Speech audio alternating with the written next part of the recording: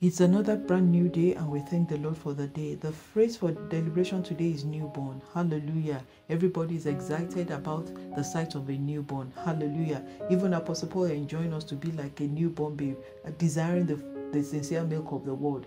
Attract God into your life. Let your life be pleasant, be, be admirable.